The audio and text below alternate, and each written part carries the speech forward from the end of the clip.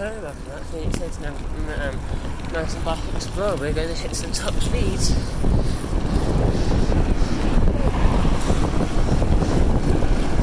Um, I just did one of them myself, just so I could have the fun without having to do it one-handed. Uh, yeah. Anybody? Let's go.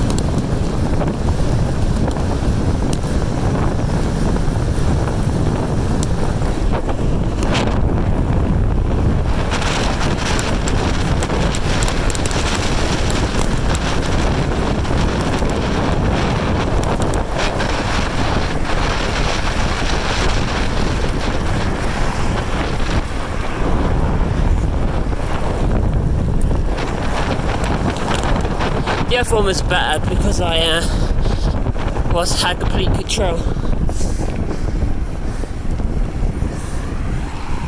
One brake is uh, working well. I have to pause so I can cross the junction. Take two. This one is long. It's also rather busy normally. If I see somebody put this down, it's clear.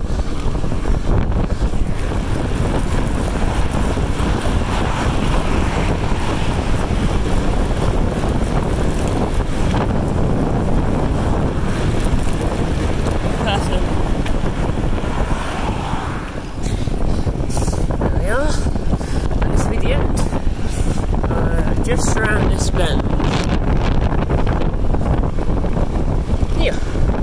Thank you for joining me. I don't know what speed we hit, probably 40, 50 maximum because I only have one hand, so I wasn't going to push it. Doing it one handed is unstable, so I didn't want to push it. Um, so I've just got the mile to go back uphill. I mean, yes, the other first bit I did myself, I did the fastest, but I didn't have to hold the camera. It was right next to a road, so I wasn't being as as uh, risky as I was here, but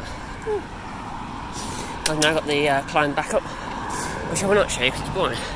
Thank you very much for watching, like, subscribe, and I'll hopefully see you next time. Sorry it could only be two, sorry I had to brake at the end, and uh, when we get my GoPro, I'll be able to do all of it as hard as possible. So, yeah, thank you.